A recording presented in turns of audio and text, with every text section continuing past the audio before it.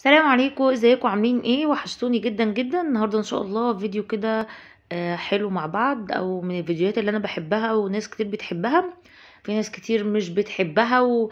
وبتتضايق من الفيديوهات دي فاللي بيتضايق منها يا ريت ما يتفرجش عليها. النهارده ان شاء الله هنعمل مع بعض السردين هنخليه كده مع بعض بطريقة سهلة وبسيطة علشان طبعا أول يوم العيد بناكل بقى آه، سردين بناكل فسيخ بناكل رنجة فكل الحاجات دي بتبقى طقوس يعني أول يوم العيد. في ناس مش بتاكلها أول يوم العيد في ناس ممكن بتاكلها تاني يوم أو تالت يوم بس يعني هي معروفة إن هي بتبقى أول يوم. المهم ندخل بقى إيه في الموضوع على طول. أنا هنا معايا كيلو سردين زي ما أنتم شايفين هو مش صغير قوي ولا كبير قوي يعني وسط. ومعايا هنا آه، العلبة اللي أنا هحطه فيها. أنا مستخدمة العلبة دي ليه؟ علشان لو بقى يعني إن شاء الله بعد ما أخلص بعد ما السردين يستوي وكده العلبة دي على طول هرميها لأن طبعا بتبقى فيها ريحة اللي هي ريحة التخليل وكده فبتبقى مش حلوة. فبدل ما تحطي من علبة أنت بتستخدميها علبة تلاجة أو كده فحرام يعني. فالعلب دي رخيصة جدا العلبة باتنين جنيه أو تلاتة جنيه. ولو رميناها يعني مش هنزعل عليها. تمام؟ معايا بقى هنا كده ملح. أنا هنا مستخدمة الملح الخشن. ملح خشن أو ملح الصخر بيبقى عبارة كده عن قطع ملح كده. يعني عاملة زي الطوب كده. تمام؟ الملح ده حلو جدا علشان يعني السردين بياخد الملوحة اللي هو محتاجها وبعد كده خلاص شكرا. لكن الملح اللي هو الناعم بتاعنا بتاع الأكل دوت يعني السردين أو السمكة بتمتص الملح كله. لأنه طبعا بيدوب بسرعة لكن الملح ده ما بيدوبش بسرعة. فأنا هنا معايا كده حوالي 3 أو 4 معالق من الملح اللي هو الصخر ده وحط عليه شوية من الكركم وشوية من الشطة وقلبتهم كده في بعضيهم وببتدي إن أنا أرص السردين زي ما أنتم شايفين بالشكل ده. آه برص كده ناحية يعني كل مرة عكس التانية.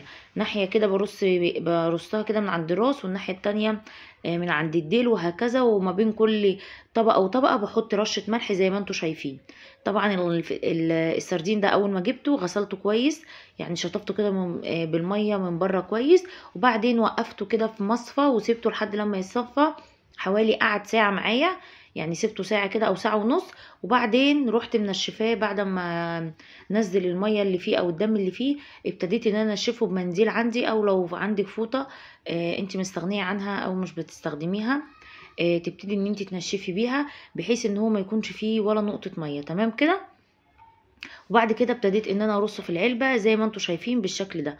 طبعا الفسيخ الفسيخ السردين اللي إحنا مستخدمينه هنا ده حجمه صغير فمش هياخد معانا وقت. يعني من أربع لخمس أيام بالكتير قوي تقدري إنك تفتحي عليه وهتلاقيه استوى بقى جميل جدا. يعني مش هيحت... مش هيطول معانا هيقعد عشر أيام أو أزيد لأ. أنا قبل كده كنت م...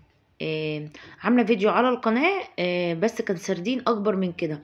فقعد معايا حوالي عشر أيام لكن ده هياخد من أربع لخمس أيام وهيطلع معاكي جميل جدا ومظبوط وهيبقى تحفة التحف. وكمان أرخص من بره بكتير بكتير.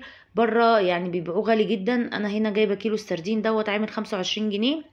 أنا كنت جايبة طبق من ال من بره من المحلات اللي هي بتبيع ال- الرنجة والفسيخ والحاجات دي. طبق فيه حوالي ست سردينات زي اللي أنا حطاهم كده أو أصغر شوية ب 17 جنيه. تمام كده؟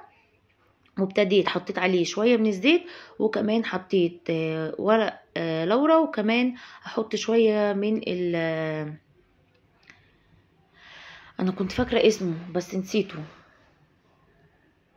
شوية من الروزماري. شوية ب- بسيط جدا يعني رشة كده. يا ريت بقى لو وصلتوا لحد هنا متنسوش تحطوا like للفيديو وتشتركوا في القناة لو أنتوا أول مرة بتشوفوه خلاص كده أنا خلصت هبتدي بقى إن أنا أقفل عليه الكيس كويس جدا وأقفل عليه العلبة بالشكل ده. ولو مش هتستخدموا العلبة دي استخدموا علبة تكون محكمة الغلق علشان يطلع معاكم كويس وما يحصلوش أي حاجة.